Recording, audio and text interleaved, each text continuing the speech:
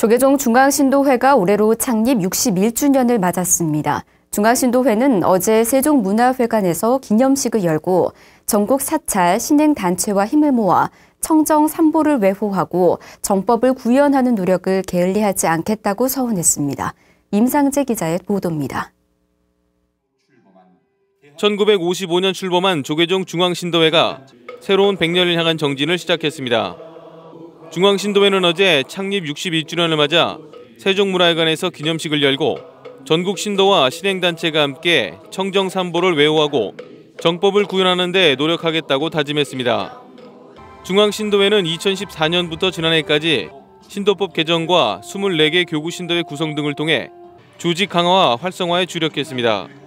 2014년과 2015년에 거쳐 신도법 개정과 함께 전국 24개 모든 교구 신도회를 완성하는 등 종단 신도 조직화를 위해서 크게 노력해 왔습니다.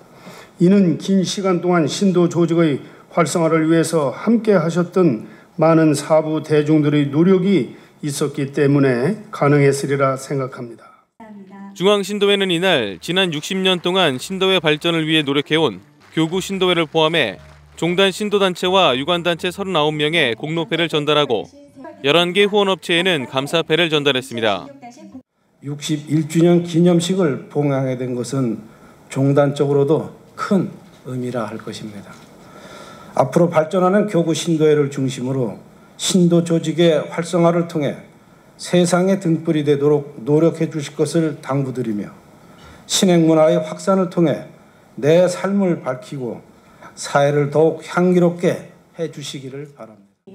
기념식에는 종단 주요 인사와 함께 서울시장, 여야 국회의원, 정부 인사가 고루 참석해 중앙신도회 61주년 생일을 축하했습니다.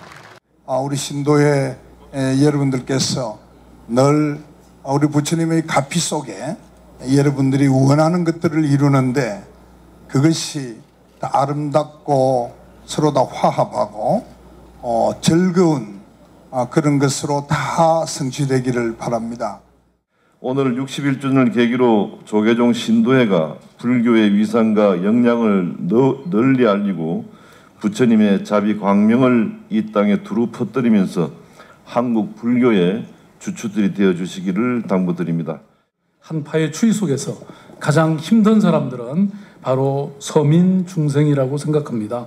앞으로도 가장 낮은 곳에 있는 사람들을 살피고 자비를 베푸는 일에 앞장서 주시기 바랍니다. 중앙신도회는 올해를 새로운 100년을 향한 정진해로 삼고 전국 교구신도회와 신도단체가 통일 나눔 펀드 기금을 조성해 통일 시대를 준비해 나가기로 했습니다. BTN 뉴스 임상재입니다.